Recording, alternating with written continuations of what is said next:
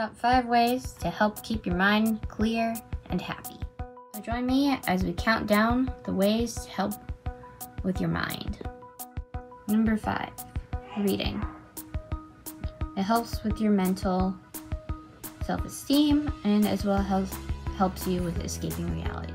This is one of the books that we've been reading, Secret Life of Cows. It's pretty good.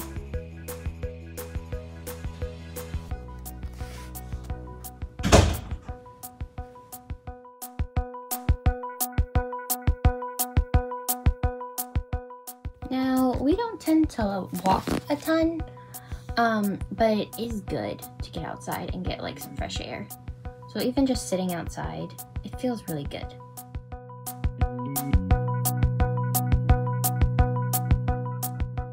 Now, pets love us and they like to please us. And frankly, I like pleasing Coco too. And Coco loves to get pets, and honestly, it helps calm you down after a stressful day or just makes you happy. Sometimes laying down is the better way to go. And taking a nap.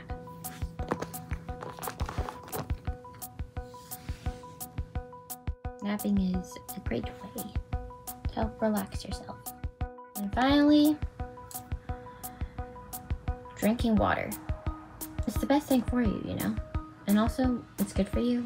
And frankly, looking at water or even just drinking it, looking at it definitely um, feels good. And also listening to the water. It puts you at ease.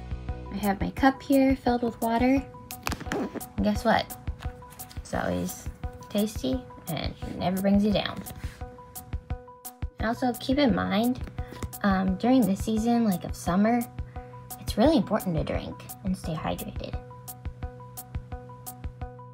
As to why it deserves its ranking as number one, it's good for you. And honestly, it helps you cool down.